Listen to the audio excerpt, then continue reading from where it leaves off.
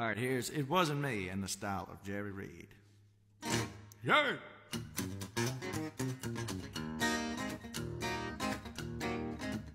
Well, Holly came in and she called me red-handed, creeping with the girl next door.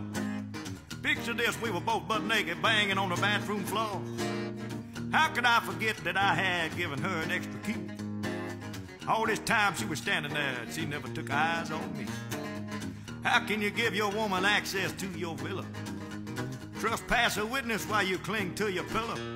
Girl, better watch your back before she turn into a killer. Let's review the situation that you caught up in to be a true player. You have to know how to play. If you stay all night, you convince her to stay a day. Never admit to a word that, that she's saying. She claiming you, baby, no way. Oh, but she caught me on the counter. It wasn't me.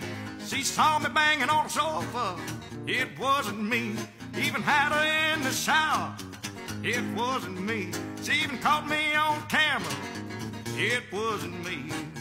She saw the marks on my shoulders. Oh, I tell you, girl, on me. Heard the words that I told her. It wasn't me. Heard that scream getting louder. It wasn't me. Cause she caught me on the counter. It wasn't me. All right, y'all, I'm gonna pick now.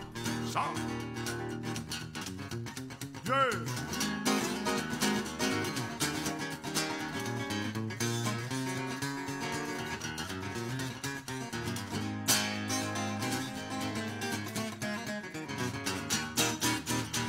Yeah.